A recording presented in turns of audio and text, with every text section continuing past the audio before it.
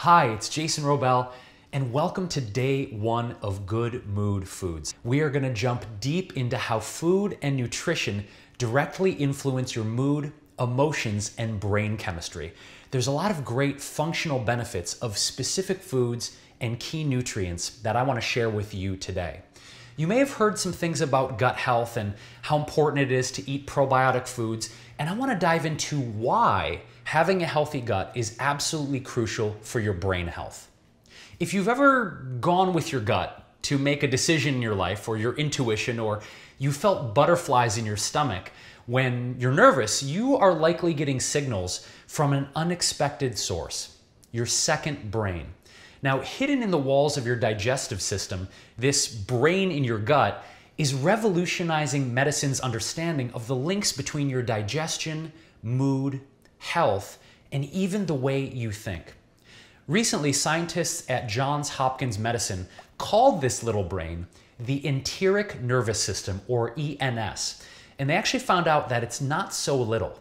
The ENS is two thin layers of more than 100 million nerve cells lining your gastrointestinal tract from your esophagus to your rectum. And this enteric nervous system uses more than 30 different neurotransmitters, just like your brain. And up to 95% of your body's serotonin is actually produced in the bowels. Now, according to the American Psychological Association, gut bacteria both produce and respond to the same neurotransmitters such as GABA, serotonin, norepinephrine, dopamine, acetylcholine, and melatonin. We'll get into all that later that your brain uses to regulate your mood and your cognition. So it's clear that the link between your gut and your brain health is pretty irrefutable. Thus, it's important to focus on and remember this connection. So then the question is well, how can you improve your brain health through gut healing and nourishment? Well, I think the first thing is to reduce your added sugar intake, as excess sugar can potentially feed pathogenic bacteria and lead to candida overgrowth in your gut. Now, when I talk about candida and pathogenic bacteria, it basically shows that when you get bloated or you have indigestion or you're feeling moody or cranky or angry, there could be a lot of this pathogenic bacteria that is just kind of taking over your digestive system. So you want to reduce the sugar in your life so you're not feeding all of that bacteria. And I'm actually going to be using a lot of monk fruit and some stevia in the recipes in this course because they are both zero glycemic sweeteners, meaning that they don't spike your blood sugar. And both of those sweeteners um, basically have compounds in them called mogrosides, which give them their sweetness and actually help to decrease inflammation in the gut and the body.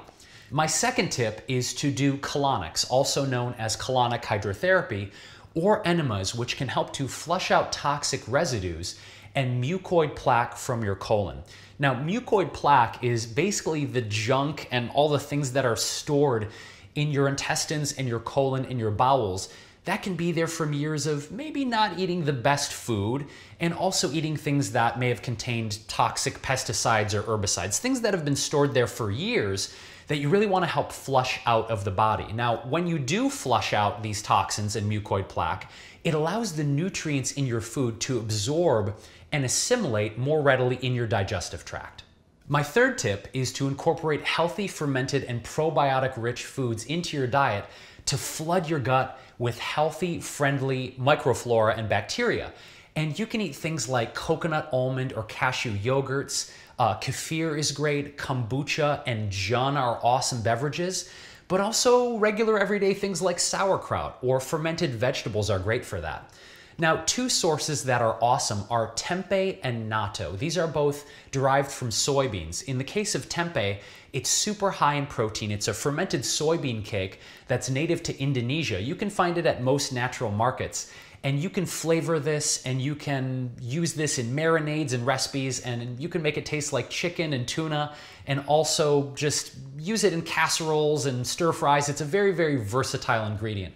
Now, natto is something you may not have heard of. This is actually a super fermented soybean that is native to Japanese cuisine. And the benefit of natto is not just helping to put healthy bacteria in your gut, it also contains a potent enzyme called nattokinase.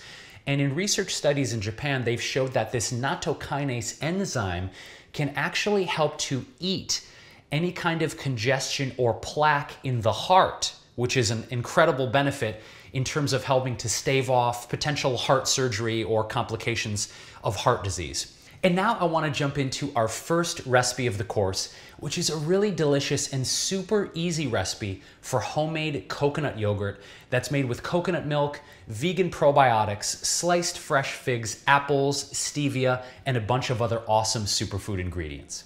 Making coconut yogurt at home is not only really, really easy and simple, but it actually helps to save you a lot of money.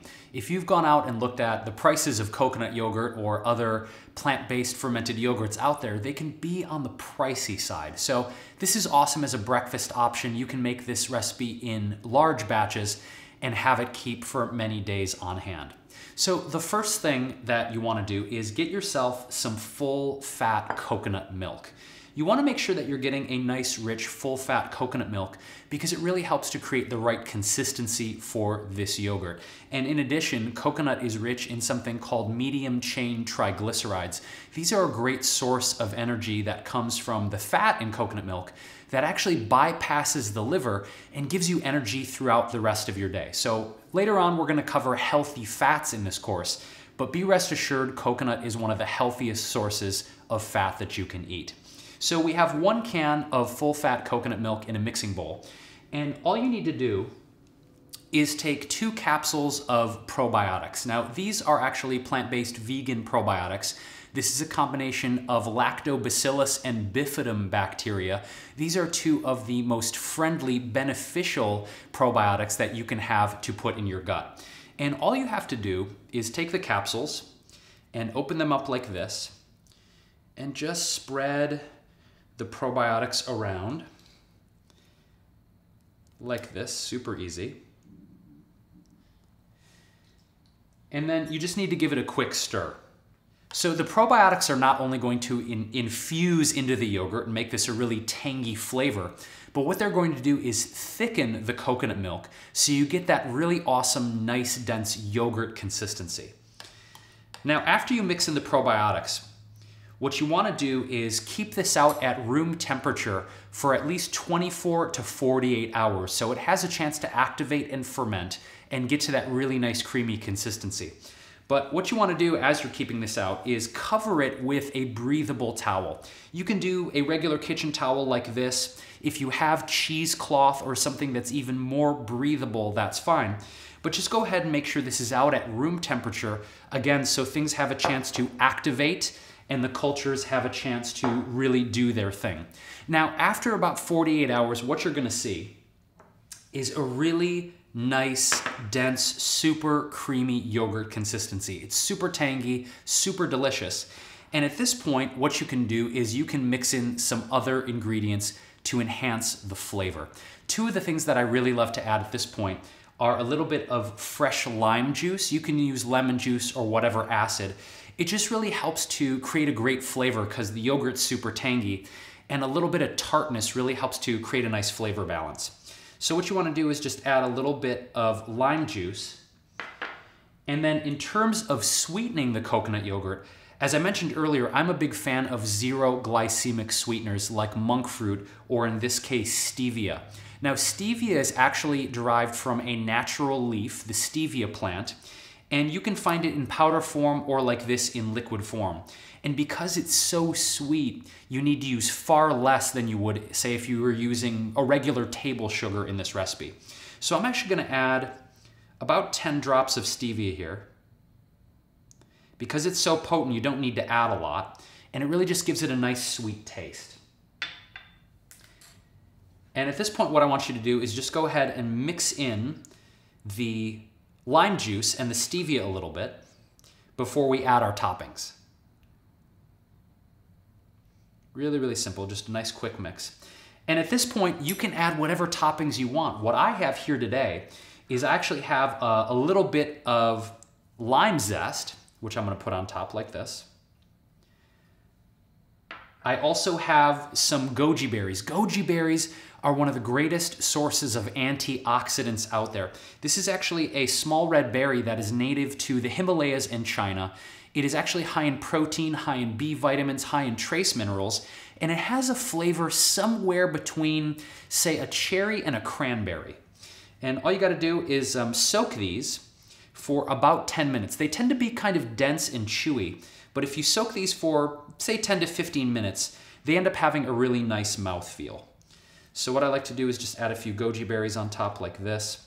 And also, if we're talking about the first thing we do with any recipe, right, is we eat with our eyes. Before we even smell the recipe, before we even taste the recipe, we're literally taking in the energy and the vibration of the food through our eyes. So I really love this recipe because you have a nice white coconut yogurt, but then we're adding all these really vibrant colors to it as well.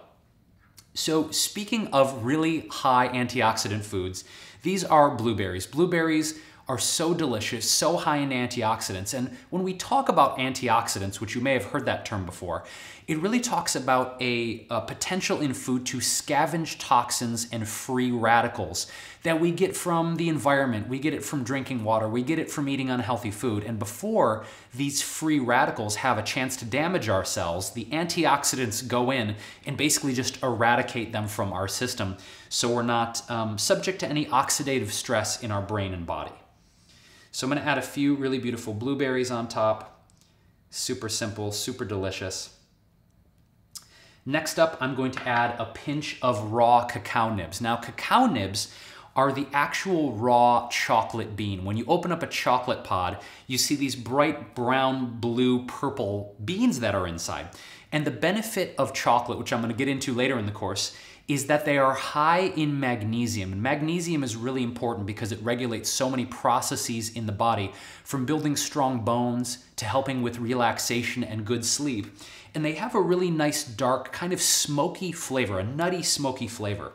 So again, just a little bit goes a long way in terms of flavor with this recipe. So a little bit on top like this.